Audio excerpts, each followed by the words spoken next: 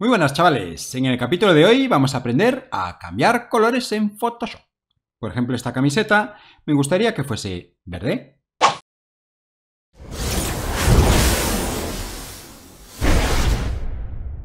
Bueno, como es obvio, el primer paso es abrir la imagen y antes de realizar cualquier ajuste lo que vamos a hacer es duplicar la capa con control J. Aquí la tenemos duplicada, abajo está la original. Acto seguido nos vamos a imagen, ajustes, reemplazar color. Pinchamos con el lapicito este en el color que queremos cambiar, en este caso la camiseta, y aquí en blanco nos indica la selección, los colores a los que vamos a afectar. Si os fijáis, me pilla algo aquí de la cabeza. Aquí tenemos la tolerancia, menos, más. Cuanto más alto esté, pues más trozo de color pillará. En este caso lo voy a dejar a tope. Porque después con una máscara de capa corregiré yo donde quiero que afecte el color y donde no. Y aquí abajo, en estas barras, podremos ir cambiando el color. Cambiamos el tono. Por ejemplo, si yo la quiero verde, pues lo dejo por aquí. Un verde más amarillento o verde más azulón. Pues me interesa, yo que sé, verde chillón, tal que así. Saturación podemos subir o bajar, es decir, la intensidad del color. Un verde más apagado o un verde más intenso. Quizá un pelín más apagado, así. Y en luminosidad, pues lo mismo, más clara o más oscura. Por ejemplo, la voy a dejar un poco más oscura, tal que así. Una vez que esté a nuestro gusto, le damos a OK. Bien, ahora como hemos duplicado la capa, podemos ver la diferencia. Si damos aquí, ocultamos la capa actual, vemos la de abajo. Así vemos también si nos afecta a la cabeza o otras partes de la imagen que no nos interese que varíe. Si os fijáis, eh, aquí esto que estaba originalmente rojo también, lo de YouTube y lo de suscríbete, pues a mí en este caso concreto me interesa que siga rojo, que cambie solo lo que es el color de la camiseta, no la impresión. Para ello voy a crear una máscara de capa.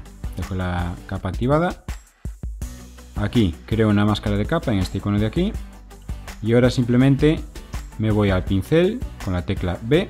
Aquí tengo el pincel y tengo que pintar de color negro. Voy a pintar de color negro sobre la camiseta. Lo que va a hacer es que se vea la capa de abajo.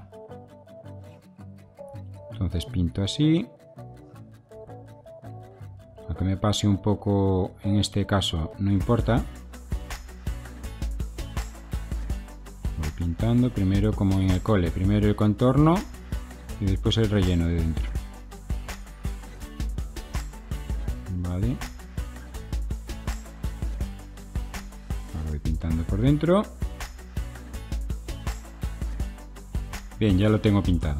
En este caso lo que he hecho es una máscara de capa haciendo como invisible la camiseta.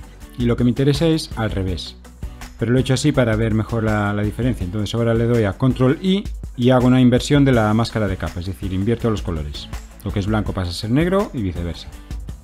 Ahora está afectando solo a la camiseta. Pero como veis en la máscara de capa está incluido lo de suscríbete y lo de YouTube. Entonces voy a hacer zoom para tener más precisión. Barra espaciadora. Encajo. Y ahora otra vez en la B del pincel. Bajo el tamaño del pincel. Es demasiado grande. Un poco más pequeño. Quizá un pelín más pequeño. Ahí lo tenemos. Y pinto en la parte que quiero conservar. Que es esta de YouTube. Ahora mismo lo que estoy haciendo es restar de la máscara. Vale, me desplazo para el otro lado y ahora hago lo mismo con lo de suscríbete.